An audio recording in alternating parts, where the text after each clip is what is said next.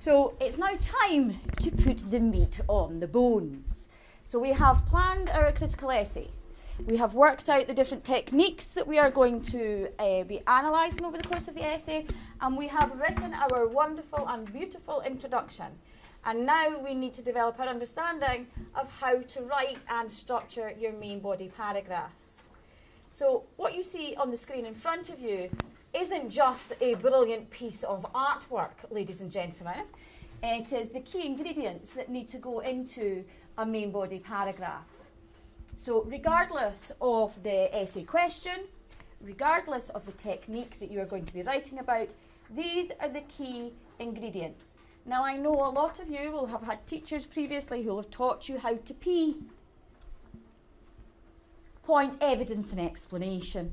Um, some of you have may have had teachers previously who, who taught you how to SQA. Statement, quotation, analysis. Uh, I'm not teaching you how to P, and your parents should have done that a very long time ago. Um, what I am going to do uh, is not use an acronym. That's what I'm not going to do. So these are the steps that you're going to take to write a main body paragraph. So the first thing you do is to uh, write a topic sentence. That just basically means write a sentence which identifies the technique that you're going to be analysing. Because the topic of your sentence, or your topic of your paragraph, is that technique. Uh, so you need to write a topic sentence which identifies the technique that's being analysed and then link it back to the task. So what that basically means is you're writing a sentence that says this paragraph is going to look at, so for example, the theme of rebellion, or this uh, paragraph is going to explore the use of rhyme and form used in the poem. Now you're not going to write an unsophisticated sentence like the one I've just spoken. You're going to do it in a far more sophisticated manner. So how do you do that? Well, what you do is you link your technique back to the task. Shelley's poem contains a strong message which is clearly evidenced through his use of a second person narrative perspective. So use the wording in the task to help you write that opening first sentence. And what that sentence is designed to do is two things tell me what technique you're writing about and make reference back to the task. Once you've done that, you then need to explain the effect of that particular technique. So, what is the effect of using imagery? What is the effect of using a second person narration? What is the effect of having this particular use of rhyme or form? Okay? And that's perhaps a slightly more tricky bit. Once you've then done that, you're going to evidence from the poem what you have just said. So, you're going to prove that what you've just said is correct and accurate in relation to this poem. And the evidence that I want you to use is in the form of a quotation.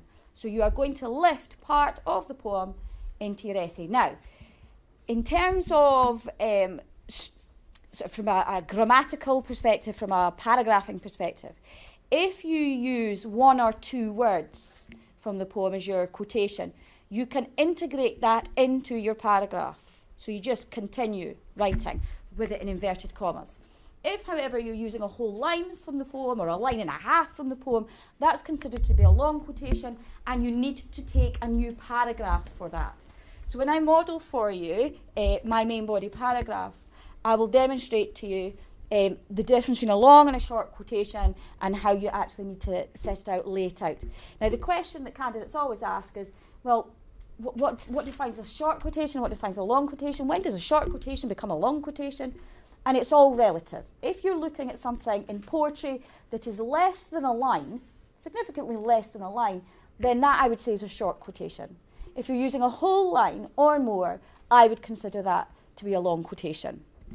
So once you have evidence, the point that you had made earlier on in the paragraph, you then need to contextualize the quotation. Context is all.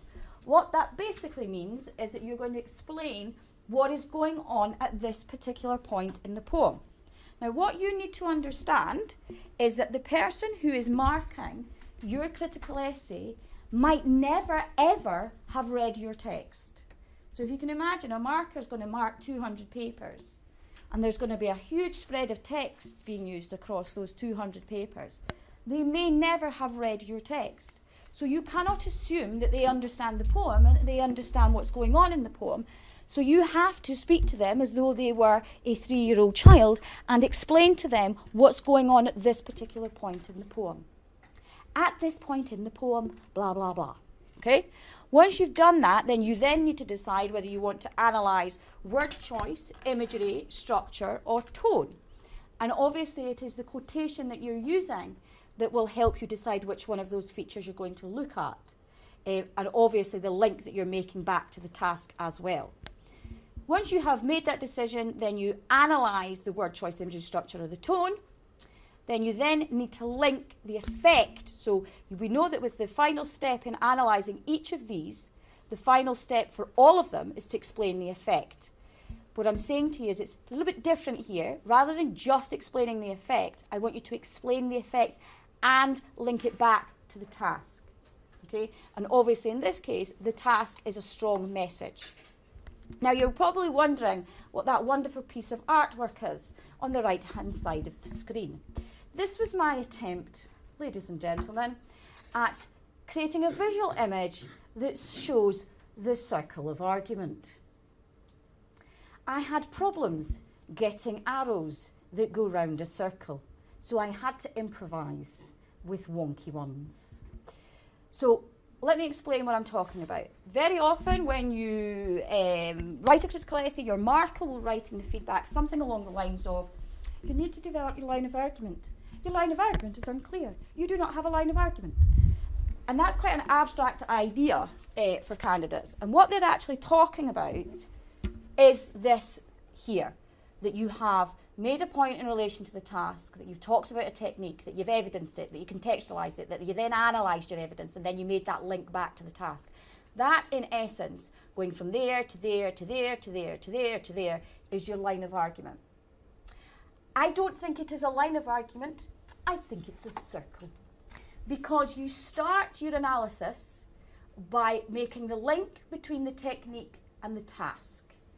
You then explain the effect of the technique, you evidence, quote it, contextualize it, analyze your quotation, and you come back at the end to link the effect back to the task. So for me, it's not so much a line of argument, it's actually more a circle of argument. Everything in this essay has to keep coming back to the task. Do not feel as though you are repeating yourself. This, you are producing an essay that is relevant to the task you have been given. That's one of the jobs you have to do. And the only way you can ensure that it is relevant is by keeping coming back to the task. Okay, so that's an important part of writing the main body paragraph. So, what I'd like to do for you now is to model for you an example of a main body paragraph. Okay, so let's have a look to see what we've got. So, um, obviously, the first sentence is supposed to be my topic sentence. It should introduce the technique that I'm going to be writing about, and it should also link that technique back to the task. So, the sentence reads Shelley's controversial poem, A Song, uh, Men of England, utilises a second person narrative perspective in order to convey his strong message that the workers of England need to rebel. So you can see clearly the use of the word second person narration that identifies the technique that I'm going to be writing about. And the use of the phraseology, strong message, links it back to the task. So the next thing that I said that I needed to do was to explain the effect of that particular technique. So I need to answer the question well, what is the effect of using a second person narration? And here is my response to that question.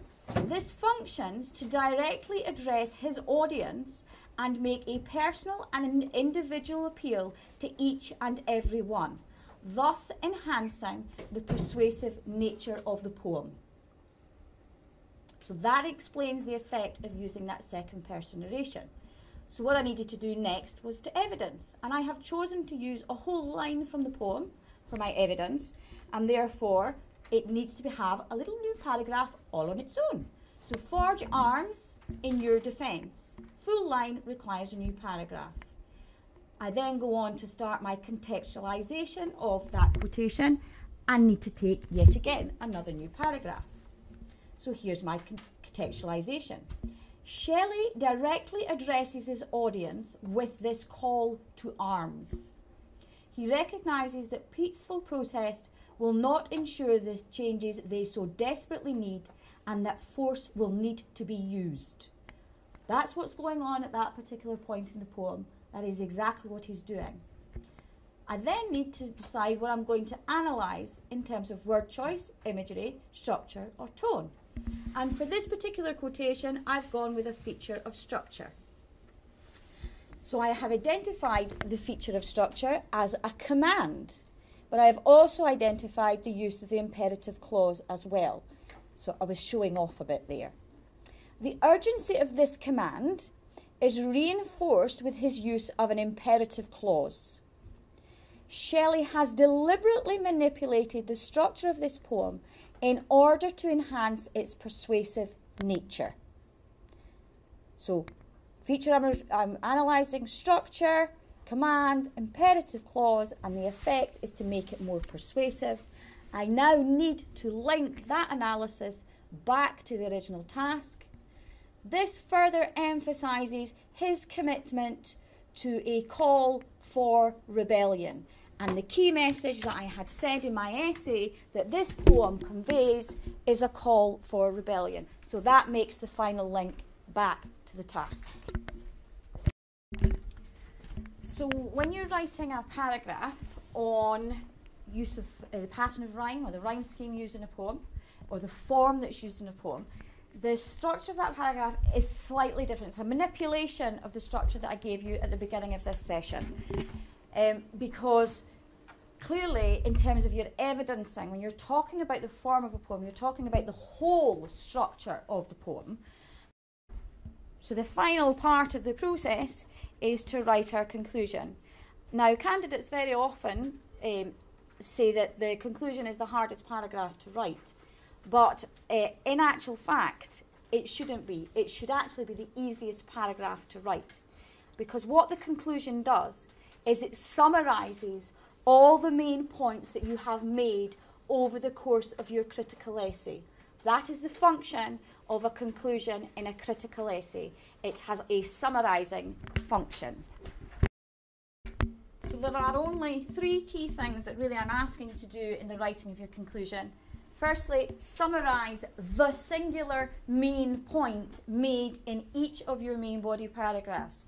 So go back, read the main body paragraph, check it, edit it, improve it, work out the main point that you've made, and use that information to write your conclusion. Read your next main body paragraph, check it, edit it, improve it. Use that information to write the next point in your conclusion. Read your third main body paragraph, check it, edit it, improve it, use that information to write another sentence for your conclusion. And all the while, in writing those sentences, try as much as possible to keep linking it, each of those statements back to the task. And then finally, and this really is just the cherry on the cake, is to finish with an evaluative. So if we look at the sentence that I've constructed, it says Shelley's highly persuasive and controversial poem has a clear and strong message of rebellion. So I asked you to write an evaluative statement that links it back to the task.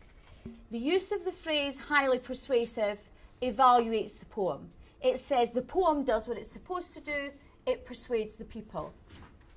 The use of the word controversial also evaluates the poem in that it makes reference to the message and says this message is not going to be liked by everybody, um, therefore it's a controversial poem. The fact that I refer to the message as both being clear and strong also evaluates. So there is one, two, three, four occasions in that sentence in which I evaluate the poem and link it back to the task. That's the cherry on the cake. There's no necessity to have to do that, but it's it's always nice to try and feel that you have actually finished your essay, and very often, after you've summarised each of the main points that you've made, you're left feeling that it's not quite finished off, that the bow hasn't quite been tied. And this would be my suggestion to you of how you tie that bow um, by creating an evaluative statement that links back to the task.